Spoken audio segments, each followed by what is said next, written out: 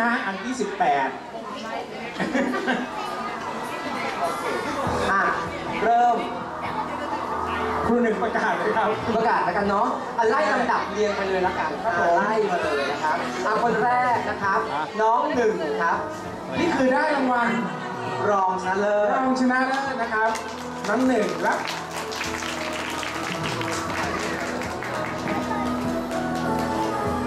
ตามไปรับเลยครับ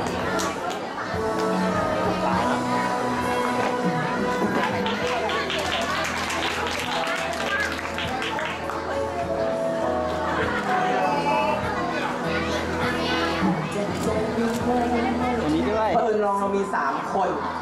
กรรมการเลือกไม่ถูกมันมีรองอยู่3คนคะแนนเท่ากัน 3 คนเลยได้รองหมดเลยทั้งสามคนนะครับ รองคนที่ 2 ได้แก่น้องเบล ผมบอกแล้วนะครับว่าการตัดสินของคณะกรรมการคงจะเป็นไปได้อย่างยากลำบากมากเพราะหลายๆคนร้องดีหมดเลยมีเสน่ห์กันไปในคนละรูปเราแบตับดสินกันโดยภาพรวมครับผมบางคนอาจจะเด่นในน้ำเสียงคนอาจจะ นะครับหลายอย่าง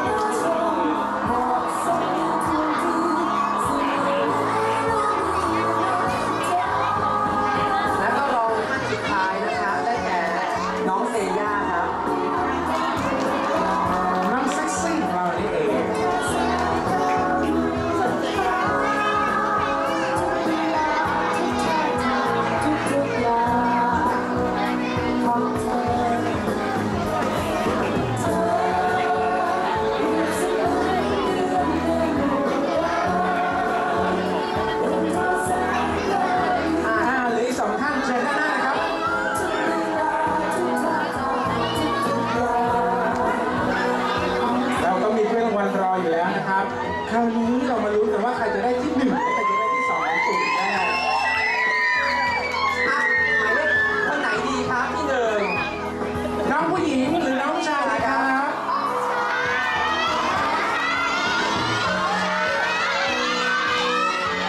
อันนี้ผมไม่ทราบเหมือนกันต้องรอฟังจากตัวหนึ่งเลยครับสรุปเท่ากัน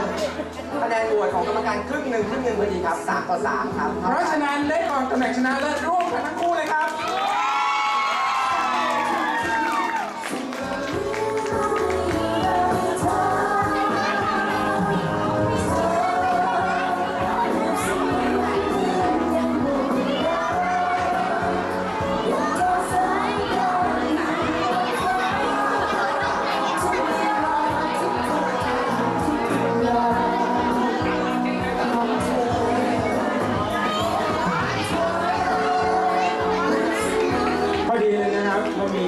ชนะเลิศ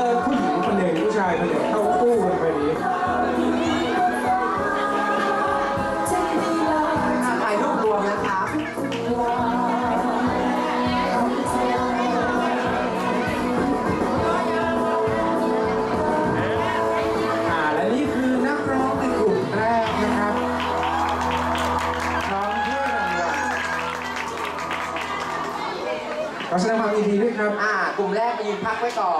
นรางวัลไม่ได้ตัดสินว่าใครจะต้องดีกว่าเก่งกว่าเลิศกว่านะครับแต่เป็นกำลังใจให้น้องๆทุกคนที่ได้ฝึกฝนกันมา